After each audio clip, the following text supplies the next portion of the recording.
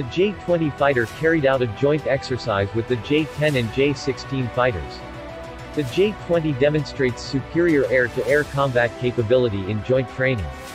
The Chinese Navy's aircraft carrier also began training in 2022 earlier in the year, the J-15 being a key player. And the Air Assault Brigade conducts Z-20 helicopter air-to-ground attack training in the first week of 2022.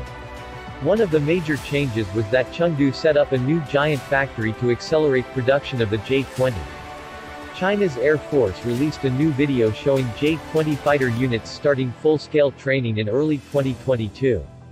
The new plant allows multiple J-20s to be assembled at the same time, and more teams can work on the aircraft simultaneously, could deliver dozens of J-20s by 2022.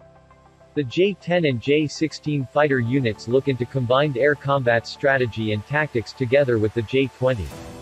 The J-16 is a member of the world's most advanced Su-27 family with the avionics suite of the J-10C. A J-10C variant with AESA radar took part in the training. Production of the J-20 is entering a new era since the last quarter of 2021, possibly entering mass production. An official report indicates that Chengdu Aircraft Corporation staff is speeding up the delivery of test flights and they speed up deliveries and ensure the quality of key test flight tasks. The team hit delivery indicators at new highs, with a target of more than 100 J-20s in service by 2022. According to the report, several major challenges emerge in 2021.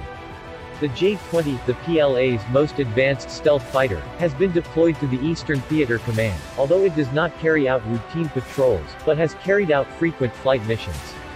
AJ-20A with serial number 61162 will conduct a test flight at the end of 2021, if so, the Indonesian Air Force's 3rd Flight Brigade has been or will soon be equipped with the J-20. The serial number indicates that it belongs to the Southern Theater Command's 5th Aviation Brigade. Currently, the brigade is equipped with J-10C fighters from areas close to the South China Sea. The other two J-20A brigades are the 1st in the north and the 9th in the east. The PLA Army has several live fire drills, new wheeled and wheeled vehicles are participating. A new 122mm rocket launcher based on the new multi-purpose armored vehicle also appears in the video.